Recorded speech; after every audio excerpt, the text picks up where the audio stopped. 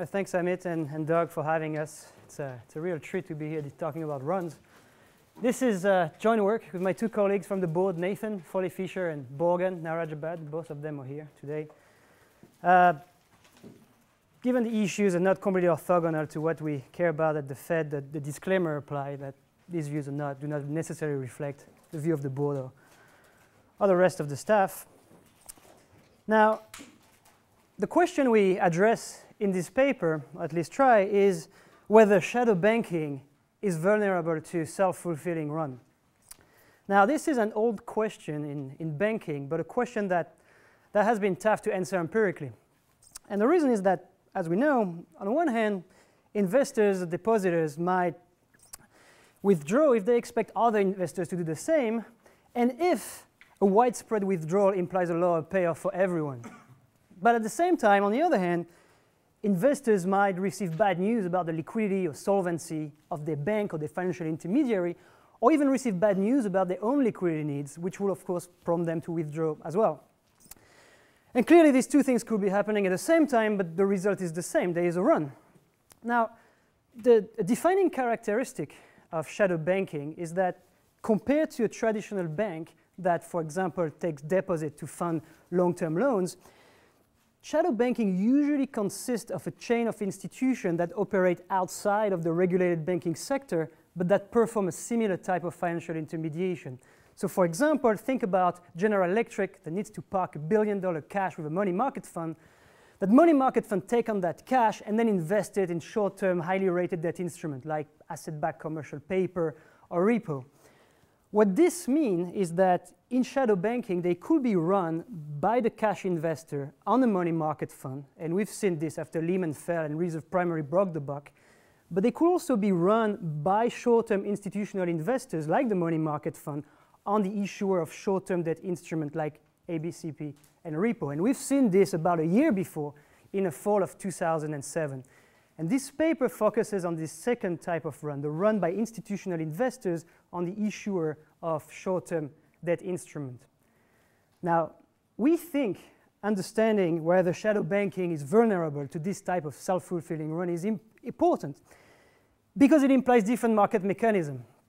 For example, if this mechanism were at play, it could mean that shock may either originate or at least be greatly amplified by the financial sector. And it also implies very different tools at the disposal of the regulator to promote financial stability. And I will come back to this issue at the end of the talk. So to reiterate slightly with a graphic, on the top of the slide we have traditional banking that we know is vulnerable to depositors run. The second, the bottom half of the slide is a simple example of shadow banking where money market funds, for example, are vulnerable to cash investors run, but entities conduit like issuing ABCP are also vulnerable to run by the money market fund or similar type of short-term institutional investors. And this paper focuses on this, on run that uh, uh, happen in this portion of the chain.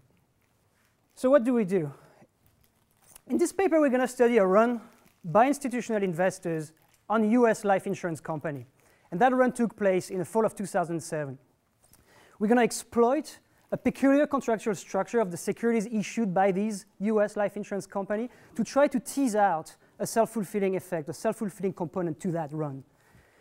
What we find is evidence of a sizable self-fulfilling component. And the key here is that this is not a test of fundamental-based run versus expectation-based run. This is a test of self-fulfilling expectation conditional on the state of fundamental. Now, this market, you most likely never heard of it, and, and was quite small relative to, for example, the ABCP market. But we think, given the runway coincidence with the run on ABCP and the run on repo, we think that if we are able to somehow identify the self, self-fulfilling expectation component in this run, it could be that the same kind of mechanism was also present in those larger runs that were so central to, to the crisis in the fall of 2007. But the key, again, is in those markets, identifying this kind of effect will be a lot harder than it is in the market I will discuss today.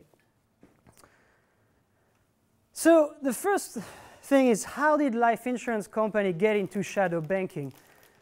Before I answer that, let me pause and, and give you a bit of context of why life insurance company became part of shadow banking. Now, to fix ideas, the traditional business of a life insurance company is to back long-term illiquid liabilities with safe assets, liquid asset of the same similar duration. Now, in order for that business to be profitable, they need to be high return on safe assets. Think about 10 years and 30 years treasury. And they need to be low risk-based capital requirements. What happened is these two things went south. So 10 years and 30 years treasury started declining rapidly from the 80s and then increasingly so in 2000s. And risk-based capital requirement were increased in the early 2000s. So the life insurer business, the traditional business, became a lot less profitable, and insurers found different ways to increase their, increase their return on equity. One of these ways is to shift risk to off-balance sheet captive reinsurer. And of course, Ralph has a nice paper on this topic with, with Moto. Another way is to fund, to finance portfolio of high-yield assets by issuing funding agreement-backed securities. And this is what I will talk about today. So this is how a funding agreement-backed securities program works at a life insurance company. Now, this is something that is specific to life insurance. It's not something you will find with other type of insurer. To be clear, the T account on the left-hand side is that portion of the insurance company's balance sheet that is directly linked to the funding agreement-backed securities program. The balance sheet is much bigger. It has other uh, insurance and it has debt and equity and so forth. And it works like this the insurance company issues a funding agreement to a special purpose vehicle. Now, a funding agreement is a type of guaranteed investment contract, or GIC. And if this doesn't really mean anything to you, think about it as a term annuity. And here, nobody is insured besides the SPV, so there is no mortality or, or morbidity contingency attached to it. The SPV finances the purchase of the funding agreement by issuing notes to capital market, due to institutional investors. Those notes are backed by the funding agreement. Now, the cash is passed through the SPV back to the insurance company, and the insurance company uses this cash to invest in a portfolio of higher yielding assets. Think about mortgages, private label ABS, and corporate bonds. Now, the trick and the genius of the transaction is that funding agreements are not debt. Funding agreements are insurance obligation. What this means is that it is senior to all debt. And in fact, uh, holder of the notes backed by a funding agreement, those FABs are treated more senior than any other debt holder. In other words, if you think about how a credit card um, ABS is structured with a top tranche and an equity tranche that credit enhance it, this is a little bit like if debt holder or credit enhancing the holder of these FABs. Now, practically what it means is if you're a double A rated insurance company, you can't fund yourself at AAA. Those FABs will get AAA rating. And then you're going to invest this fund that you raised at AAA into BAA rated security. So the spread doesn't have to be all that big for you to make a killing because this is a leverage trade. So you can get the 15 to 20% return on equity quite easily that way. Now, the FABs market really started in the late, mid-late 90s and then grew really rapidly during the boom years. And by our estimate, which I think are the best, but still are likely to be an underestimate, we think the market peaked at at least 160 billion in 2007. To put that into context, that's roughly the size of the auto ABS market in the US. Now, this structure is very flexible. It allows insurance company to tap different segments of capital market, from long-term investors to shorter-term investors. And, and one way to uh, tap shorter-term investors is to either shorten the maturity or to embed put option to these notes. And today I will talk about uh, the smaller portion of the market that was directly targeted to short-term invest investors like money market fund. And the type of FABs that is targeted to short-term investors are the so-called extendable funding agreement-backed security. And I will spend a great deal of time going through the detail of these notes. But this is what the market looked like. It grew rapidly from about 2003 all the way up to about June 2007. And then all of a sudden, investors refuse to extend the note. Now, what that means, when you, when you hold an extendable FABs and you refuse to extend that note, what you, you're given a new security that will mature a few months from the date at which you decided to withdraw. So what happened here is we have the, the, the FABs market coming up, picking up at $23 billion. Remember that the overall market was $160 billion. Then all of a sudden people stop extending their note and withdraw from the XFAB. These investors are provided a new security that matured about a year from now, and that's the green line crashing in about October 2008. Now, let me give you a concrete example of the terms underlying this security. This is an, an extract from a prospectus for an 800 million note issued by MetLife. This is issued in on June 6, 2011. In the first couple of pages of the prospectus, this is what you'll find. You're going to find an initial maturity date. In this case, it is July 6, 2012, exactly 13 months from now, meaning that if you are a money market fund, you can hold it. Then there's going to be a final maturity date. This is a date at which the note will mature no matter what happened to it, unless it is withdrawn from before. The, the, the final maturity date is about six years from now.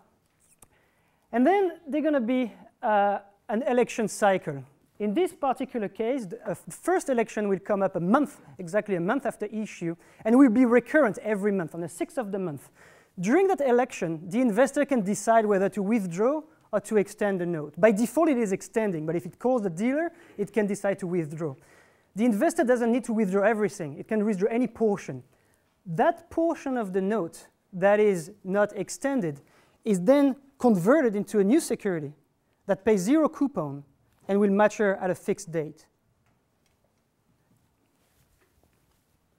Now, what this means is in this particular market of extendable funding agreement-backed securities, we have a sequential decision making. Investors need to make, as a, in contrast to a bank where people run typically simultaneously, here there is some, some element of sequential decision making. Let me try to put this in, in context with a, with a timeline. Think about a single insurance company for now that is issuing a number of XFABs. Let's index the XFABs by I. Let's say there's a number of investors, they are indexed by IOTA, and I want you to think about the investors as a money market fund manager. The money market fund manager mostly cares about two things, the rating of the, on the, the investment and being paid on time. That's crucial when you operate with no capital. So think, take one of these XFAB, I, and first election day T comes up. Investors need to, need to decide what, how, to withdraw or not. Let's call D the amount withdrawn at that time. If the investor withdrawn, or the portion that is withdrawn at that time, will then come due at T plus M. Of course, the expectation is to be paid at T plus M, and things could happen in the meantime. In the meantime, the insurance company is also servicing other claim it has, claim coming from its extendable FABs market, claims coming from other regular FABs, and so forth. Now, if the investor chooses to extend the note, then of course it has another, another shot at T plus 1. But in between T and T plus 1, there could be other extendable FABs coming up for election from the same insurer, and then that investor may start thinking about who, whether people holding these XFAB will withdraw as well. In other words, this investor might need to think about how much, how many people will withdraw when he cannot withdraw and when he has to wait until T plus one. In the meantime, the amount that can be withdrawn between T and T plus one is by definition bounded. It's either zero because uh, uh, no one is withdrawing, or it is a maximum amount which is given by all the XFAB that were issued by that insurer. Now, at that point, if the, per, if the investor decides to withdraw at T plus 1 because he didn't eh, withdraw at T, then those guys who withdraw between T and T plus 1 will have to be serviced before he get a chance of being paid at T plus M plus 1. Okay? Now, in a paper, we, we formalized this decision making into a basic model. And the goal of the model is to show the condition under which there could be a self-fulfilling run in this particular market. Now, I won't go over the detail of the model, but the result is the following. It boils down to an externality. If, they, if withdrawal imposes an externality on other, there could be a self-fulfilling run. And it goes a bit like this. If an investor's withdrawal affects the expected future liquidity of the insurer, there could be a self-fulfilling run. Why? If the investor expects other investors to withdraw, this will be the expectation of this ST plus 1, then she may start to worry about the insurer's future expected liquidity. those concerns about the insured liquidity might lead to withdraw today. That's the D here. But this D adds to the queue of payment. This withdrawal may affect the expected liquidity of the insurer that would then prompt other investors to be concerned and withdraw, and that will confirm the original expectation. So the intuition is quite similar to the concept we're familiar with, but the goal of the model here is to show that, at least in theory, it can happen. Now, alternatively, there's a run could happen for another reason. Obviously, there could be worsening fundamentals going all the way, and what we will get is a positive correlation between withdrawal today and withdrawal between t and t plus 1. The identification problem we face is the following. What we are interested in using this notation is the effect of expectation of future withdrawal on withdrawal today. The effect, the effect of a change in expectation of st plus 1 on dt. We perfectly observe withdrawal decision for all these xfab. In other words, we perfectly observe d, st plus 1, and the q. What we do not observe are the expectation of st plus 1. And of course, while we observe some fundamental, for every fundamental we observe, there is a bunch that we don't. So in, in the remaining of the talk, I will convince you that we found a way to try to tease out this, uh, this mechanism. Now, the unit of observation throughout the analysis will be the election T of an XFAB I from an insurance company J. So every, every measurement will be always with respect to a particular security.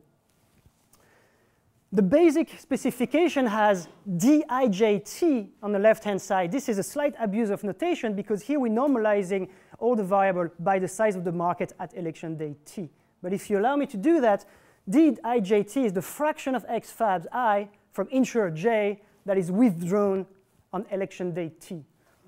Our endogenous variable here is this i sij t plus 1. It's the fraction of x fabs that is withdrawn between t and t plus 1. And then there's the Q. Q coming from either the XFAB program or the rest of the FABS program. And then to this kind of specification, we can add a number of control. Now, in general, no matter what the cause of the run is, we expect D and ST plus 1 to be correlated during the run. And in fact, if you were to run that regression, you'll find this. You could try to control for obvious fundamental by adding them to that specification. You hope that correlation survives, and it does. But no matter how many control you add, that correlation alone cannot be informative for the presence of that self-fulfilling component to the run. So what we need is an instrument. We need something that is related to the expectation, but that, that is really orthogonal to the fundamental. So this is how we do it. We're going to construct an instrumental variable using the features of the contract.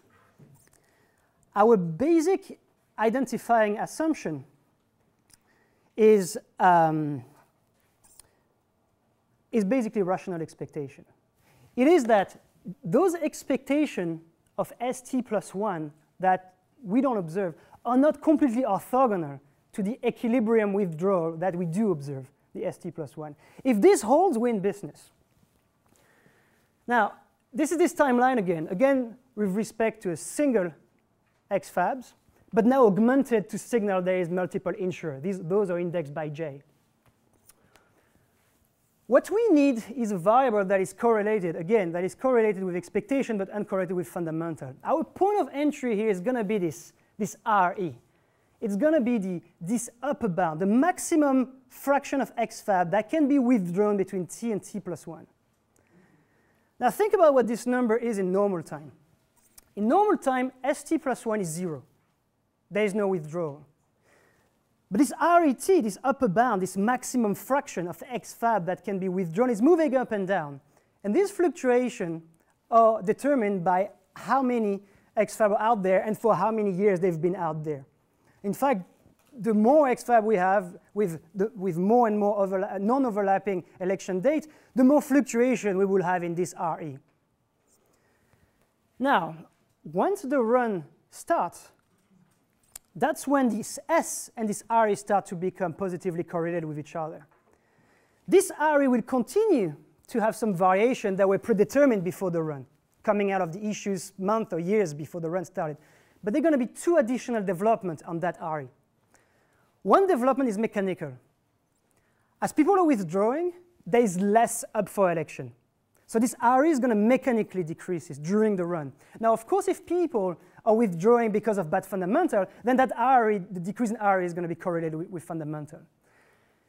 Another thing that could be happening is that there could be new issues. So as the run starts, some insurance company may, may, may want to may gamble for resurrection by issuing new notes.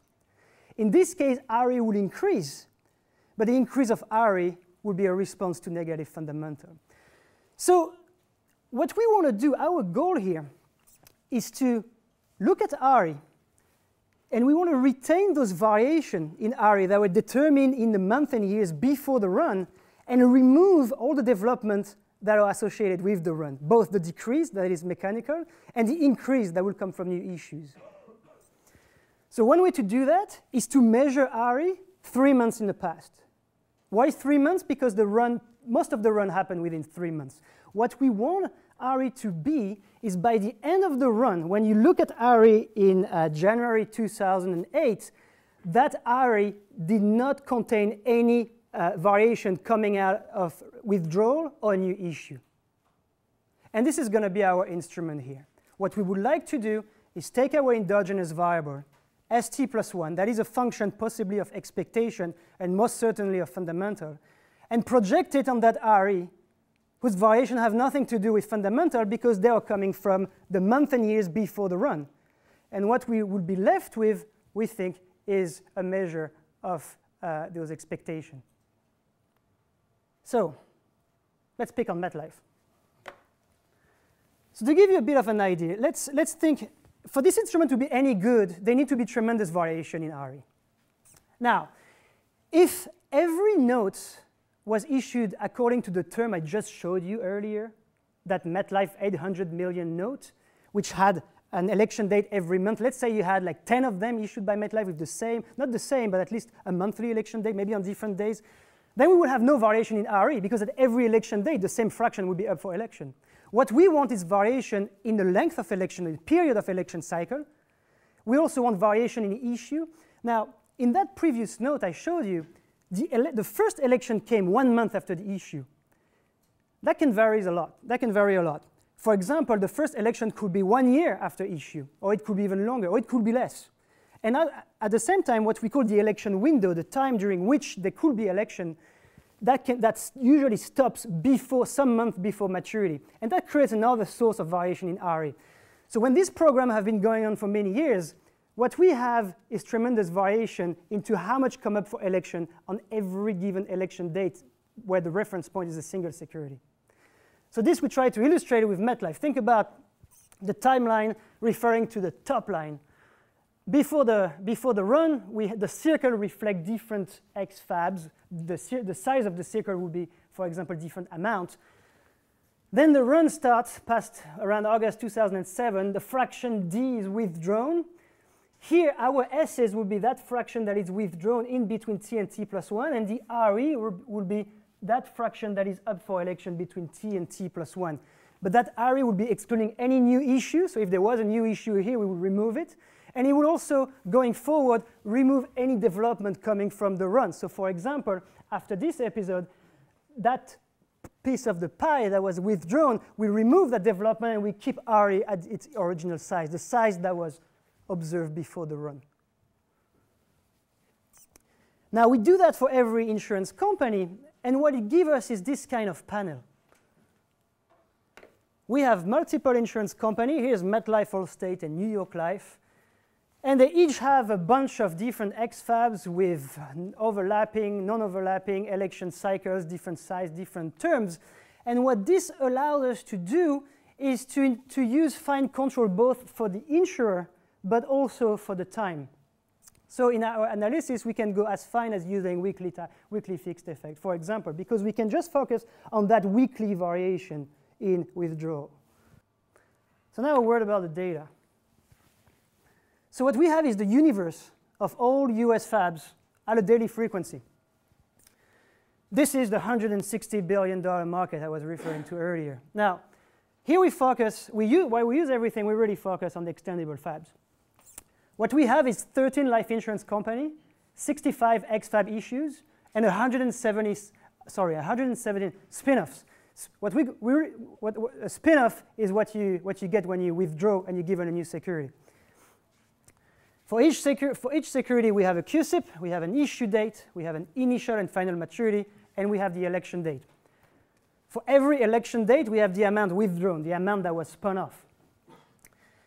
Now, importantly, every spin-off is matched to its parents. Every spin-off is issued a new CUSIP. So you just have to, well, you don't just have to, but you start with an original CUSIP, and then you figure out what happened to that CUSIP, and then you reattach the spin-off CUSIP to it, and now you obtain the entire life of that security. To that, we have a bunch of other things coming from statutory filings and ratings, CDS, VIX, and so forth. The sample period here is going to be beginning of 2005 until the end of 2010. What this gives us is about 1,300 insure security, election date observation. And this is what we get. So the first two columns is are the result for our baseline specification, where we instrument S with this RE excluding three months. What we find is a strong and significant coefficient on that S. And I'm going to hold off on the economic interpretation for now. For now, the, one of the concerns we have in this analysis is that the industry, the insurance industry, could be experiencing a common shock a shock that would hit every insurer. One way to deal with this is by including weekly fixed effect. At least this is the finest we can do. We claim that our instrument should not be correlated with bad fundamental, but if it's true, the weekly fixed effect should give us broadly the same results. So by including the weekly fixed effect, we get broadly something, something that is broadly similar. To put these numbers in context, this is what we get. In the paper, we run different specification um, we use different lag for the instruments and different types of control for uh, maybe latent fundamental. What we find is that between 62 and 80% of this 18 billion withdrawal can be attributed to a self-fulfilling component. Again, remember that this is not a test of self-fulfilling expectation versus fundamental.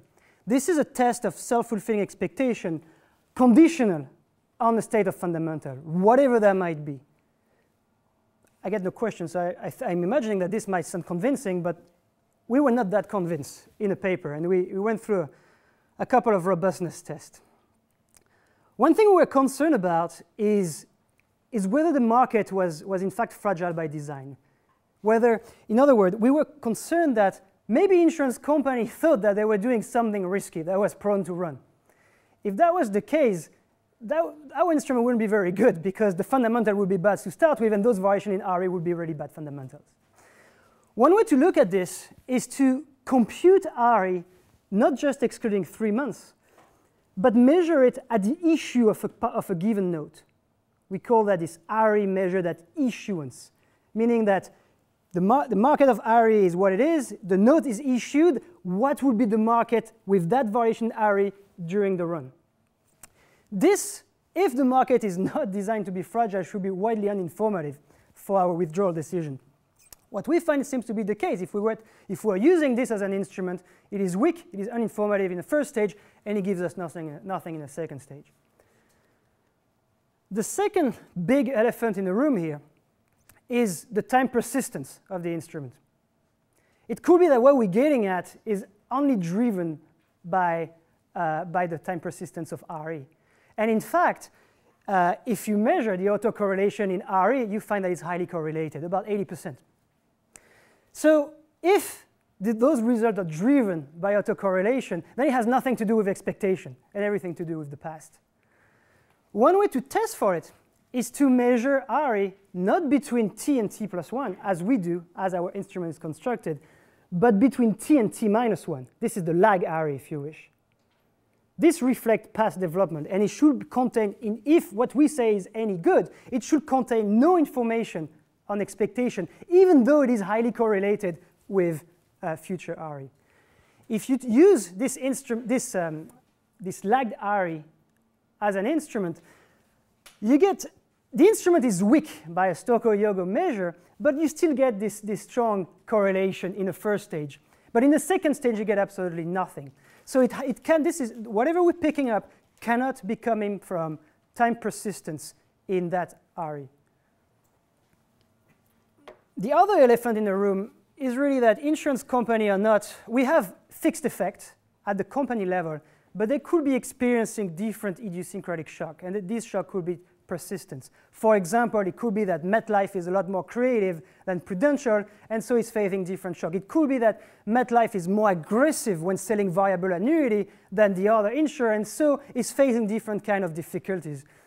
One way to deal with this is to go into insurer time fixed effect. And the finest we can do here is insurer month fixed effect. Once we include these uh, time varying fixed effect, we get that the results are broadly the same. In fact, statistically, those coefficients on the S instrumented by RE are not significantly different from one another. Another thing is, well, fine. We find something that seems to work, that's RE.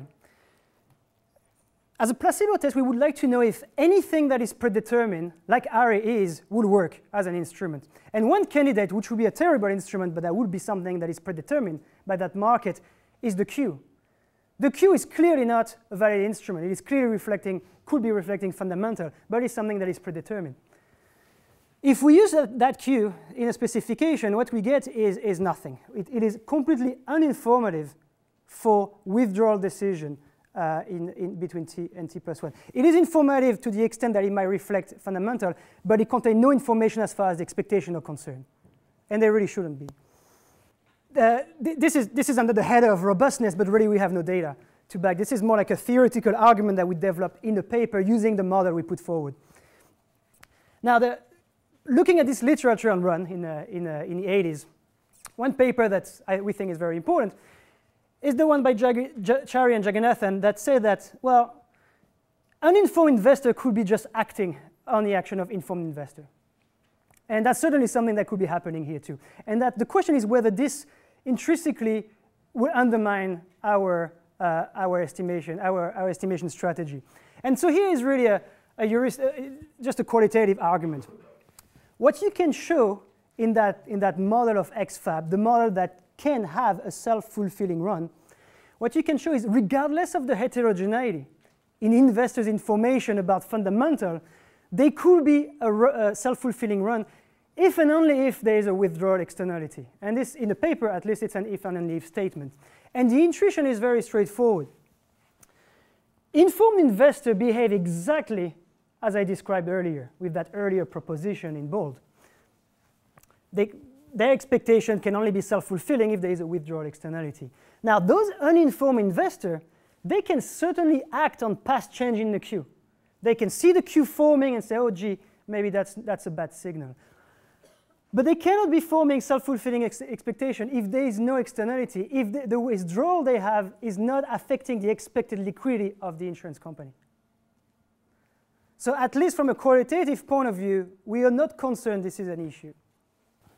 So let me, let me give some concluding remark. So what we find here is, is evidence of a sizable self-fulfilling component to this run on this peculiar market in the fall of 2007. What we think is key here is that the same institutional investors were active in ABCP and repo, and that this market experienced a run at the same time. Now, the issue is you it is, would be very difficult to identify the self-fulfilling effect in those markets, if anything, because of fire sale. Fire sale by themselves will be, uh, uh, um, um, uh, would be something that would make the fundamental creeping analysis. We did not have a risk of fire sale. We had a risk of fire sale, but we did not have a fire sale. What happened when this note came due in late 2008? Well, if there is no liquidity out there, one option is to start selling this thing. Now, selling this asset in 2008 was really probably not a good idea. Those insurance companies, those that were operating FAB's program, went to the Federal Home Loan Banks and either became a member or jacked up their membership or just took advances. The way they life insurance company take advances is, is quite unique. What they do is they issue a funding agreement to the FHLB. In other words, what happened when this note came due is that this, this link of the financial intermediation went from funding agreement-backed security to the FHLB. So the business that was initially funded with FABs became funded by FHLB. At the same time, what the FHLB was effectively is a very important backstop during the crisis, and in fact prevented a fire sale in that market. This is something that helped us tremendously because it, it, it really rules out uh, the possibility of a fire sale that will really uh, uh, confound our result. At the same time, the, the, question we have is like, well, at, at least at the beginnings, well, if there was such a liquidity backstop, why was there a run in the first place? The thing is that the FHLB was under tremendous stress at that time. And there was, in fact, tremendous uncertainty whether the system will survive. Banks have been taking tremendous advances, really gambling for resurrection during 2007. And some people were really concerned that the system had actually failed. Instead of extending the notes, they took these advances, or they did both. They extended the notes. The notes were not extended. Never. The, no, the note, the note, institutional investor refused to extend almost all notes. Then these, the, that fraction that was not extended came due in October 2008. That was the one-year delay. Exactly. They, they did use the one-year delay, and this happened after the one-year delay? Exactly. So if you look at here, it started going in two, quarter four 2004, and then quarter four 2008, the peak hits. Now, because we have a bit of time and because I thought it was so impressive, most people use the FHLB, and MetLife used the FHLB more than anyone else. MetLife had the biggest extendable funding agreement backed security program out there, about $5 billion. The, the overall business was about $30 billion. They also had $30 billion in sec lending, and maybe half of it was connected to the FABs, but that's almost beside the point. What MetLife did, which was truly remarkable, while everybody went to the FHLB to get liquidity, MetLife restructured the FABS program, or at least the extendable FABS program, into a funding, funding agreement backed commercial paper program. And they started issuing this FAB CP directly to the Federal Reserve because the CP facility was in place at that time. So for MetLife at least, the Federal Reserve was the backstop that prevented that, uh, that, uh, that fire sale, possible fire sale of asset. Now, as it turned out, Moody's didn't want MetLife to issue more than 4 billion in FABCP, but they needed 5 billion. So what we observe MetLife to do is they issue a billion dollar putable FABs to the market, which is really the riskiest way. It's essentially issuing demand, demand deposit right in October 2008. And they survived. And since then, the FABCP program is about $10 billion, so it didn't go down, actually went up. In fact, since the designation, that program kept going up, even though uh, people working on the designation did mention that that might be a problem. So going back to the conclusion slide, we believe that what we found that market is, is plausible. We believe there is a plausible self-fulfilling expectation component to that run. We think that it is quite possible this effect is present in larger markets that were so central to the crisis. But one thing we have problem reason reasoning with or what kind of, what does it mean for regulator? There has been tremendous progress on, especially from the SEC, on reforming money market fund. And the idea here is to mitigate the, the run risk on the money market fund. But there hasn't been really much or anything on trying to prevent the run by the money market fund on everyone else. Now, the problem here is that if we think about bank runs, we, I think we know how to deal with bank runs. We have the FDIC, and we monitor bank. We monitor the hell of it. The problem is here, we can't have deposit insurance on this kind of market. And this is just symptomatic, symptomatic of a larger problem. For, for any XFAB market that pops up and is shut down, another market will be here to deal with another regulation. And so it will make it almost infeasible or ineffective to, to cope with these changes we wouldn't be able to constantly monitor accurately the development of this market. For example, think about JP Morgan. JP Morgan is putting out this repo back CP right now. Why are they putting back repo back CP? I don't know. It's clearly going around some sort of regulation. We have no idea. So this might sound a bit grim, but that's uh, what we, we think we've learned from, from that paper. Thank you. Okay, well, thanks a lot for, um, um, for asking me to discuss this, this paper. Um, and given that we have two discussants, I'm going to I'm gonna focus more on the insurance aspect of this, of this paper. Um, because if you read this paper, it's very much presented as, as a bank run paper, a shadow banking paper. Uh, but some of us have an idiosyncratic taste and like insurance, uh, which I think is also important, and we should, uh, should also pay attention to those aspects of that paper. And I think actually it makes an important contribution in, in that literature. Um, so let me sort of like take a step back and, and, and sort of think about what are the risks of, of a modern life insurance company. Where does this fit in into the, the broader literature on, on insurance? So traditionally, insurance companies are, are relatively boring entities. So they're, they're exposed to, to three types of risks. So on one hand, you have interest rate risk, you have aggregate longevity and mortality risk, and then you have shifts in policyholder behavior. But insurance companies have, have decades uh, of experience managing those, those risks. Now, modern insurance companies are still exposed to those, um, to those risks, um, but the balance sheets changed a lot the last, let's say, 20 years. And this is really for two types of developments. So on the one hand, they started to sell at a large scale uh, much riskier products, um, so-called variable annuities. Um, lots of them also sold, sold in, in, other parts of the world, not just the US. Um, and these products have minimum return guarantees. So think of them as, as mutual funds uh, that have very long um, uh, maturities, like, like 30 years, where you guarantee a certain rate of return. And as you can imagine, currently there's a lot of pressure on insurance companies who have issued those, those securities uh, or these, these insurance products uh, with the current low interest rate environment. Now the second part that changed the balance sheet, and that's where this paper fits in, is that insurance companies use new tools to manage capital. And in particular, they started to use these off-balance sheet entities. So they started to do shadow, shadow reinsurance, which is um, reinsurance between affiliated entities. So let's say MetLife reinsuring itself uh, which was mostly done for uh, regulatory capital uh, reasons and for tax reasons. Secondly, insurance companies became large in, in securities lending. I'm going to show you some, some data on that. Then they have these, these funding agreement-based notes um, and extendable versions of those, and they became um, um, they started to use derivatives a lot more, both to hedge interest rate risk, but to also hedge uh, the guarantees in these uh, in these products.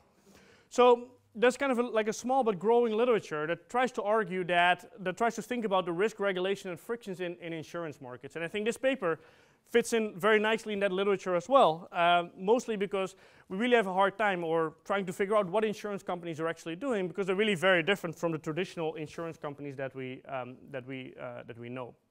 Um, so the, the structure was, was already mentioned a little bit. So um, effectively what's going to happen is that the insurance company is going to issue these, these, these policies to this SPV, issues notes, you get the proceeds from the note holders, let's say the money market mutual funds, you get those proceeds back and then you can start in investing those in all kinds of securities, uh, potentially illiquid ones.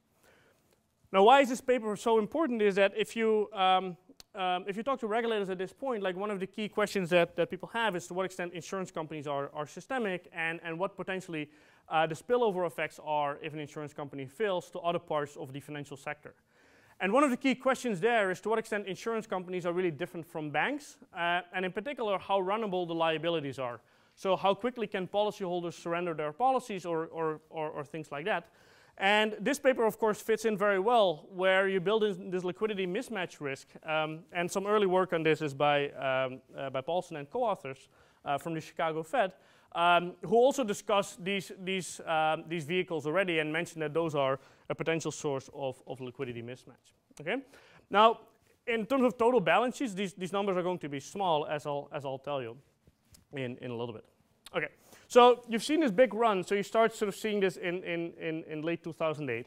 Key question is, is this coming from, from fundamentals? And here, um, there's two, two ways of thinking about this. So on the one hand, you can think about the failure of an insurer or for some reason, like, like insurance companies run out of liquidity, and there's some dis disruption or delay in, in the payments. Now, I'm not sure this is like a huge issue because if you look at what happened during the financial crisis and you look at the balance sheets, these insurance companies did have significant amount of liquidity. And in fact, those companies that seem to be most constrained, um, they, they rebalance their portfolio towards very liquid securities. Um, but I do think there was significant stress during during the, during the financial crisis, and I'm going to sort of give you some evidence of that. So I think there was a reasonable concern about some of these insurance companies. And then there's the alternative or complementary story, um, which is about the self-fulfilling run. So really beliefs driven, conditional on or in addition to uh, the story about fundamentals. Now, in the theory part of the paper, the way sort of they model this is to say there's some state variable n, which is measuring the liquidity of the insurance company or, or the solvency. And this is going to be affected by two things. One is this Q, which are the payments made uh, from, the, um, from the SPV to, um, let's say, the money market mutual fund. And it is affected by the returns, which is, which is interpreted as, as fundamentals. Now this NT goes into this, this, this F, which is the probability of, of insolvency. So if N gets too high, it becomes more likely that the insurance company fails. Um, now the key thing they want to show is that, that current withdrawals depend on the expectation of other people uh, potentially running on the, um, on the SPV in, in, in the future. Key empirical challenge is that you don't observe this expectation. And then in the paper, there's two empirical strategies um, that give you quite, quite similar um, results, actually. So, so that, that's comforting. So one is to simply remove the expectation, regress D on the future value of S. Um, but then, of course, as, as, uh, as Stéphane explained also in, in the presentation, that, that has issues because you introduce an errors in variables problem because you, you use a realization rather than the expectation. And of course, this one can be correlated with, with fundamentals. Okay? But then they have this very nice IV estimator that I'll get back to uh, later, on, later on as well. So this is kind of the main table that I think is actually the, um, the most interesting one, which is not the one that's in the paper that you have, but uh, they told me it will be. Um, so effectively what they do, is, as I told you, is they excluded the most recent three months in the construction of the instrument. Because anything that happened during the last three months is going to be contaminated with fundamentals. But three months is relatively short. If you think about standing in, let's say, uh, June 2008, then of course there's a big part of the crisis still, still in there. So they now produce this table where they construct this instrument excluding six months, nine months, 12 months, and 24 months as I, as I understand it. And what you see there is that this coefficient really doesn't move all that much unless you go really far out. And if you take two years, you're really like far outside of the crisis. Okay, so, so that is, is um, I think, potentially the most um, convincing set of, set of results that sort of expanding that window really doesn't sort of matter that, that much, which, which alleviates some of, these, some of these concerns. Okay, so I want to make two um, sort of like sets of comments that, that are related. So on the one hand, I want to provide some background about what are the fund fundamental risks during this period. And kind of the key takeaways are that you see that there are significant risks in the insurance sector during this period, and that there's a lot of heterogeneity. So the risks are concentrated in just a couple of companies, and that those were very, very much affected. And that those companies that were risky during this period, the risks were mostly coming from securities lending and from variable annuities, and those companies that were large in those areas were also uh, active players in these uh, extendable uh, funding agreement-based notes. Okay. Um, and secondly, I want to talk a little bit about like how you would think about sort of disentangling beliefs from, from fundamentals in this in this context. Okay, so um, so Stéphane was, was was kind enough to send me the list of companies that they have and how much of these uh, XFAB and uh, uh, contracts they issued. And what I did, I linked it up with the with the um, with the regulatory filings in terms of variable annuities and in terms of, of, of securities lending. So what you see over here, these are the top 10 companies in terms of variable annuity sellers in 2007. So that's right before, before the financial crisis. So these are the account values. So for instance, AXA has like 179 billion in variable annuities outstanding. What you see in the next column is the losses that were experienced on variable annuities or in the annuity business relative to the equity of the company. So for instance, one company that was hit very hard during the financial crisis with variable annuities was, was Hartford. And you see that they lose about half of their equity during the financial crisis. Okay? Now, you see that the final column sort of shows how much of this um, of these extendable notes that they, that they had. You see that the account values are they're relatively small. So it was mentioned that MetLife is, is, is the largest, is 5 billion, but MetLife is just like a huge, huge company. Okay, so 5 billion for them is, is, is still relatively small. Now what you see is that if you, take, if you look at all the companies that were doing variable annuities, they lost 9% during this period. Those companies that didn't have these guarantees actually like recorded a small, a small gain on their annuity business. Okay? The second that I think is more closely related is securities lending. So here, um, you may have heard about the fact that AIG was, was kind of big in this space. So AIG lost a lot of money on their CDSs. Uh, they also lost a lot on, on securities lending. So this is the amount of securities lending these companies were doing. And the next column tells you the capital gain that these companies recorded, again, relative to the equity of the company. So for instance, AIG was effectively wiped out entirely already based on, based on securities lending. But the thing that's particularly interesting is that now if you go down this, this column, you see that for some of these companies like Allstate, they, they lose 50, 50% of their equity during this period, which um, I never quite understood given that their securities lending was quite small. But then you see that they're actually a, they have a bigger exposure to these alternative notes. And that's what I mean with that this is a really important paper to sort of like put all the different pieces together that we understand the plumbing of the insurance sector so we know what they're doing and how these different activities uh, contribute, contribute to, to the risk of, of the sector. Now, the second thing is to note is that, that these insurance companies during this period were, were, were going through like significant um, trouble. So we know AIG, and typically people say, well, AIG was, was doing all kinds of things that were not representative for the insurance sector and probably stuff they shouldn't have been doing. But AIG was not alone. So during this period, Hartford, the one I showed you before that experienced large variable annuity losses, Hartford also received TARP money. And there was a whole series of other companies that in the middle of the financial crisis acquired banks if they didn't have one. Once they acquired banks, they applied for TARP money. When the Fed said like, no, that's not how this program works, they actually got rid of the banks again. okay, so there were a lot of companies that were so financially constrained during this period that they went out of their way to get government support.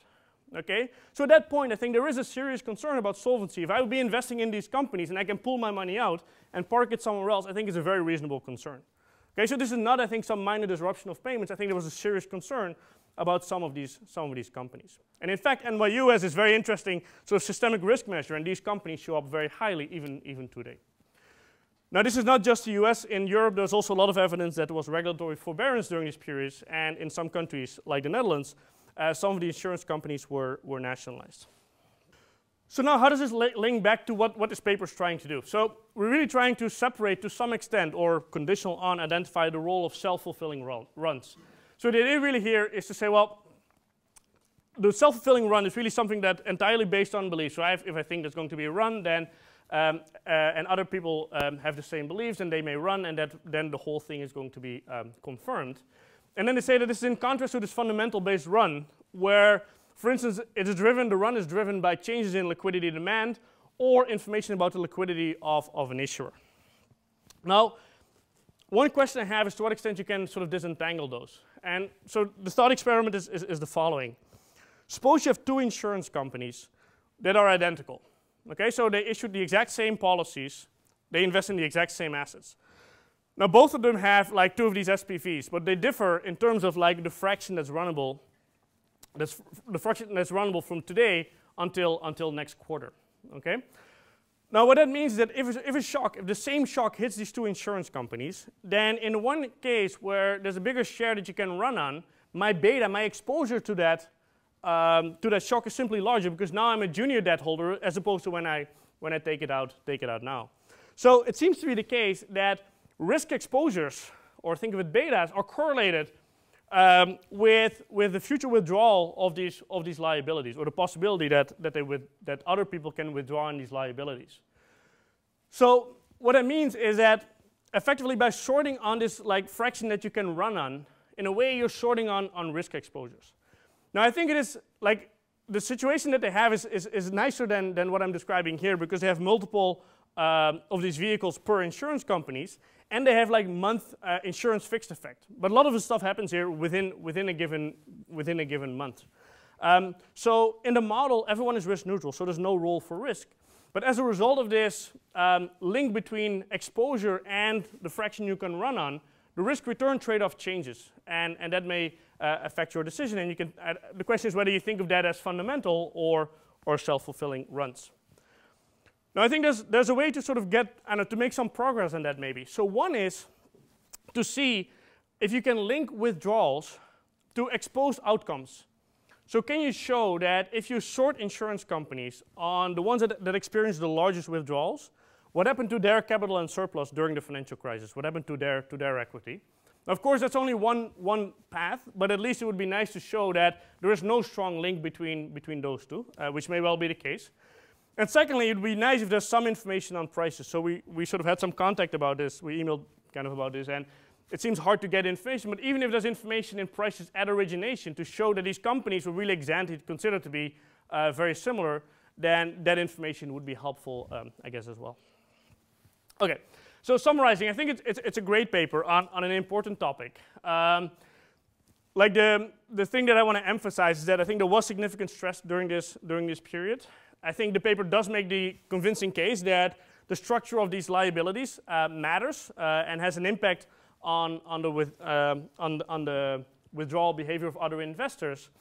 However, I'm not sure how to sort of disentangle it from, from the impact on, on the risk-return trade-off, but maybe if you can link it to future real realizations and show that that, that, that link is, is, is weak, uh, then they may help to, um, to make that case. Thank you. All right, uh, thank you very much uh, for inviting me to discuss Amit and Doug, and great job. The first two papers I thought were really great, and I think this paper is actually really great too. Um, I thought that uh, uh this paper is really quite nice, actually. It's, uh, you know, I, I, put on the last slide something that I'll just say right at the beginning, and that is, you know, Jim Poterba at some point when I was a PhD student gave me the advice that if you show a slide with summary statistics and they're new and no one's ever seen them, then you're in pretty good shape, actually, because whatever you ha have after that, at least someone, you know, you can walk away from the paper knowing you learned something. But this paper goes far beyond that. It's not just about a new market that uh, we didn't know much about.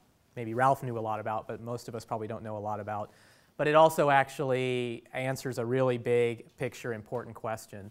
Uh, so I really would want to compliment the authors. So what's the big picture question?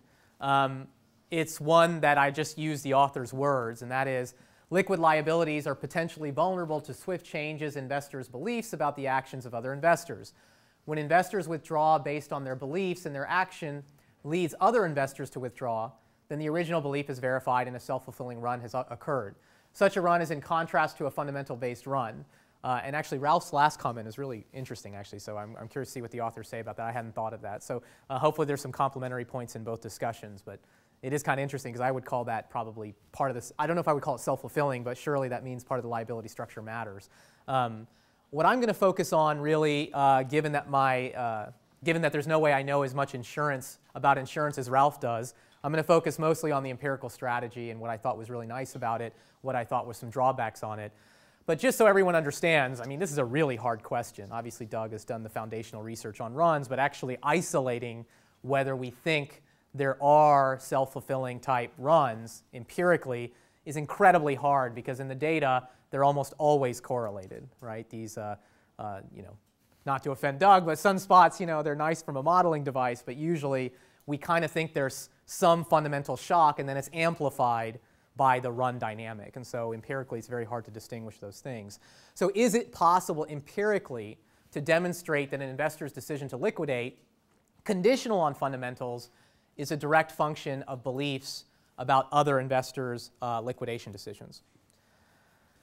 I took probably three quarters of the time I spent on this discussion trying to understand the institutional environment. So I, am guessing that some of you are still wondering exactly how it works. Um, uh, so let me go through it because I, first of all, I do actually think it's really interesting, and second of all, well, you know, there's some value theory of, of, of labor here, so I want to I want to tell you, I want I want to brag about what I learned here.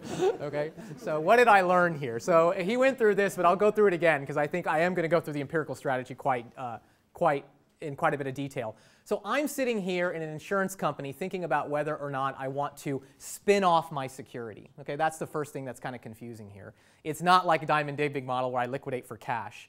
I essentially decide whether or not I want to spin off my security into a security that then matures in one year. So it's, it's right away I was kind of confused, like, well, this isn't really a run because you get a, you're still going to lose your money if they, if, you know, if they run out of money within a year.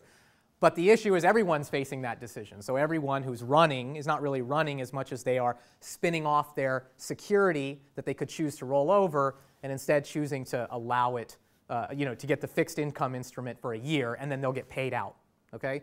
So it's not exactly a bank run like you think of it. It's kind of a spin-off run, like I, I you know. But then it, obviously the other guys could do it before you, so you just kind of delay the liquidation decision for a year, which is what Doug was. You know, they had that back and forth about why October 2008 is when uh, they go to the FHLB. Okay, and my decision, I have an election date here when I can decide whether to spin off, and then I have election date here uh, to spin off, and these could be, they say, usually a month apart. Okay, And then what I'm considering here is what other guys are going to do in the interim that are for the same insurance company but different classes of XAFBN, uh, extendable notes, so that they may actually decide to spin off their security in that interim period. Okay, so anytime I say spin off, it kind of means run, but not really because there's a year wait, right? Uh, but I'm going to use that term spin off because that's what they use. So the instrument is going to basically be that when I'm deciding here, I'm going to be informed about how many other guys in the insurance company can potentially spin off between my election dates. And then you might say, well, why are you even doing this T plus M, T plus M plus 1 nonsense? Well, the reason you have to do that is because that's actually when I'm going to get paid. So when I decide to spin off my security, I get the cash at T plus M from the new security. Okay, so everyone on board? That's why it's kind of strange. So I'm worried if I decide to roll over that in the interim, these guys are going to decide to spin off, and then I'm not going to get paid till T plus M plus 1, and in the interim, all these guys are going to get paid. So it's kind of a run, but it's kind of a year delay. Okay? That's kind of how this whole thing works. The OLS estimation then is going to be doing DIJT, my decision whether to spin off or not, uh, as a function of how many guys decide to spin off in the interim period between my election dates. I'm right about that, right? Is it monthly or between election dates, right? So T is kind of defined by election dates here. Okay? What are my comments? Uh, my first comment is going to be uh, that we need an instrument, and this is kind of reviewing stuff that both, uh, both uh, Stéphane and, and, Ralph said, so I'll just do it quickly. It's kind of obvious here that OLS isn't going to work. Um, a fundamental shock to any given insurance company at t equals zero will quite obviously affect both how many withdrawals happen between my election dates and my decision at time zero whether or not I want to spin off. Okay, that's kind of obvious. Um, the authors make a valiant attempt, although in the, in, in, the presentation he was a bit more modest. I think Stéphane was a bit more modest. In the paper, they kind of try to say, oh, no, even the OLS with all these controls is pretty convincing. I don't know about that. I mean, it's a valiant attempt, but at the end of the day, no matter what you control for, the investors see more than the econometrician, the econometrician sees. So any, that correlation is always going to be polluted by the fundamental shock. So, um, you know, sometimes we have this whole joke about the identification police in corporate finance, and people care too much about identification. But in this example, you're going to have to, right? I mean, it's just such an obvious alternative story that you really are going to have some kind of, you're going to need some kind of clean source of variation in order to do this estimation in a convincing way. And they're very clear, as you saw in the presentation, that they understand that. So what is the instrument? Just to make sure everyone understands it, I'm not going to deal so much with this three-month issue because I think the authors handle it really well, and the, and, the, and the table Ralph showed shows that it's quite robust. So I just want to make sure everyone understands the basic instrument. The basic instrument is the maximum fraction of XFABN that can be converted into short-term fixed maturity bonds between my elections, right? So it's this thing, okay, with this three-month uh, addition that they kind of try to get it so it's not polluted by short-term decisions. Okay? It's plausibly exogenous to fundamentals, but increases the risk of run conditional on the same fundamental shock. Now, here I had a discussion with the authors between, so maybe I'm not right about this, but at least, I mean, theoretically, I guess you could get runs even if there's no fundamental shock. That's kind of the classic model. I kind of think, if I'm thinking about the power of the first stage in the time series, that the power of the first stage is really going to only work when there is a fundamental shock right? Does everyone see that? Because if there's no fundamental shock, again, in the models, there's sunspot equilibria, but in the real world, it's kind of hard to imagine that all of a sudden guys start running when there is no fundamental shock. So that's why he said very carefully, it's about estimating the effect of runs conditional on some fundamental shock. Okay? Now, that brings me up to a point that I don't have on the slides because I didn't, I thought I was limited on time, but I think I have more time than I, than I think now that I'm looking at my slides. You could imagine empirical strategy completely different, and that's the one I thought would be uh, as interesting as the one they did, where you exploit variation in investors in the XFABN that are getting their own shocks that are orthogonal to the fundamental shock getting received by the insurance company itself. Everyone see that? So that would be another way of kind of trying to find some variation in I respond to other investors. That's actually more typical of kind of the way research is done in that corporate finance area is, you know, there's some investor in MetLife that I learn is going to have to, has a big shock, and I know they have their withdrawal decision in the interim, so therefore I withdraw. So that's another way of thinking about perhaps a situation in which there's no fundamental shock at all to MetLife, yet there's still going to be a run. right? So I was thinking through examples of maybe when you could do that, but um, they don't have the data, unfortunately, on who holds the exact securities. Or maybe they do. I mean, we'll see if they do something like that. I thought they didn't. Okay. So what is the variation in the instrument? One of the emails I sent the authors was just to say, because they have this line in there that says, it's usually monthly. And so I said, well, if they're all monthly, then there's no variation in the instrument, right? I mean, if every time everyone has a monthly election, even if our elections are staggered, that means 100% of the guys are going to have an election between my time and my next election. Um, so they have some really cool variation, right, which he didn't go through in a lot of detail, but there's, there's really cool variation here, right? Because first of all, as you saw in the example, oftentimes when you issue the thing, the first election's not for a year, and then they start monthly, right? Likewise, when it matures, oftentimes there's no election in the year before maturity. So you've got this kind of nice variation across insurance companies. I think the authors could do maybe a better, exam, a better job of really showing it to you, maybe graphically at different points in time, what the variation looks like. They did it in the presentation, but I think it should be in the paper as well. So what's my take? This is a really cool instrument, and the authors really should be commended for finding this institutional environment that allows us to test such an important idea. I mean, it's, it's a really nice institutional environment. It's one of those few situations uh, that make great papers where the instrument itself is kind of interesting, but it's not just about some dinky little question but it's about a big question, right? So you both have kind of a cool strategy and a really big question that's actually being answered with it. So what's my second main comment? My second main comment is um, that they should really focus on the summer of 2007. My view is that you know nothing really interesting is happening there, and so specifically, uh, let me skip that. What I would do um, is if I were actually writing this paper, at least as a first pass, maybe in addition to what the authors are doing, is don't run the panel regression, but actually do the first difference specification, right? So those of you who know my work know two things. I like first difference specifications and I like pictures, okay? So the reduced form would be this R-E-I-J, and then you would have your decision to invest, and I would do this at like August 15th, 2007, right? So the, ho the hope is that you've got 13 insurance companies that are all coming up for election, and you've got the reduced form, which is you've got the instrument, and you want to see how many guys are withdrawing. And as a result, you basically, hopefully, it looks something, I mean, it probably would look something like this, right? And you'd have 13 observations here, essentially, because that's how many insurance companies they have. Okay? I think this is a much more transparent way of doing this exercise. I think the panel regression, you kind of are losing some of the information. I mean, this actually is losing the information, but it's actually making it very transparent where the variation is coming from. I think the first stage is going to be much stronger because this is where the fundamental shock is occurring. And so I think this is kind of the way I at least think about it uh, when I'm thinking about the empirical strategy. Okay? Another advantage of doing it this way is you're going to have a much stronger first stage.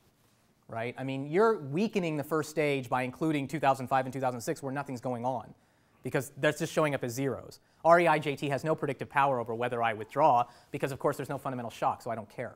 Right? So you're really isolating the time period where the power's coming from. I'm not saying get rid of the panel. I'm just saying do this maybe in addition. I also think it's easier to conduct orthogonality tests because then you have the reduced form. Then you can start correlating REIJT in, say, August of 2007. You can correlate it with a bunch of stuff in 2006, 2005, and show that it's effectively exogenous to everything. I kind of believe it's exogenous just in the, the strategy and the robustness test, but I think that would be more convincing. Finally, if you show it on a graph like this, we can see uh, perhaps if there's nonlinearities more easily. You can see that perhaps it's really if there's 100% of the stuff is you know up for election, you really get a big increase in my decision to, to uh, delay. Um, but that I think would be uh, more transparent, at least should be an addition. I won't say you have to replace what you've got, but I think the panel right now, I mean, you look at a picture like this, it looks like really all of the variation, most of the variation, I guess there is some interesting stuff between 2008 and 2009, but certainly prior to 2007, there's not, doesn't look like there's anything going on in this market at all. So I mean, what, are you, what are you getting from looking at this period? Right? Maybe to just pin down control, you know, betas, but that's, that I don't think is really where the power is coming from. Let me make two final comments, one I have on here and one I thought of while you were presenting. Um, the timing still bothers me, so let me just go over this quickly. The ideal experiment that I, I, I think of when I think of this paper is this kind of all 13 insurance companies on August 15th have at least some investors in their extendable notes who are making a rollover decision. But the problem is, in reality, they don't have that kind of variation because it's like a staggered panel. So I don't know how much, how close they get to that. But really, what you have is you're comparing MetLife on August 13th. So those guys are making a decision and whatever Hartford on August 17th. And even though that's a small difference in time, it's not the ideal experiment that you want. I can't think of exactly why I'm bothered by it, but anytime you don't have the exact experiment you want, you kind of worry even high frequency stuff, right? Maybe the Hartford guys are responding to what happened to the MetLife guys, and so it's just not obvious that you have as a clean of a, a setting. The final comment that I want to make in my remaining time, which I just thought of actually as he was presenting, that magnitude estimate's too big, I think. Your estimate's way too big, I think. Let me just show you why. So they had this 80% of the withdrawal is due to, um, is due to, to the shock, to the, to the self-fulfilling prophecy element, uh, the self-fulfilling run um, element of it. So the way they get that just graphically, if you imagine you did it like this in a, in a cross section where it's easier to see. So you have REIJ, and then you have SIJT plus 1, okay? From what I can understand from where they get that calculation is we know this is the first stage, right? So this is, the, this is how many guys run, I'm sorry, how many guys spin off as a function of how many guys could have spun off. Okay, and they get an estimated line like this. Okay, that's beta hat times Sij plus 1. Okay, everyone with me?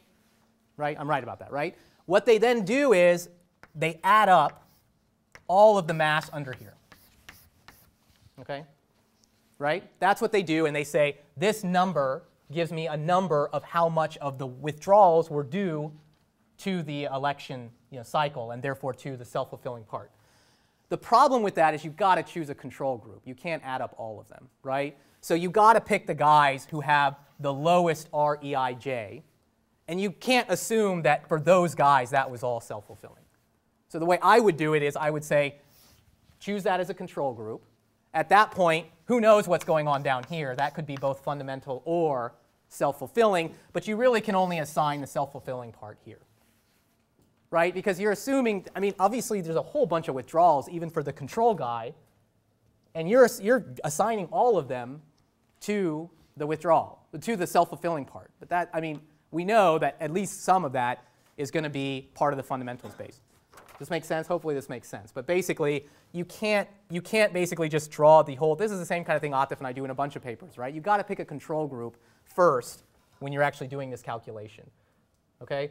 and then you can assign the rest of that. So you can say the control group tells me that at least this, uh, this much of it was due to fundamentals, and the rest of it is due to the self-fulfilling part. Because 80% sounds ridiculously large to me. I mean, I, I understand self-fulfilling runs are important, but 80% of the withdrawals in this market, I mean, Ralph showed you these guys are getting huge fundamental shocks. So it's hard for me to imagine that it's all uh, based on self-fulfilling stuff. Okay, that's all I. Thanks.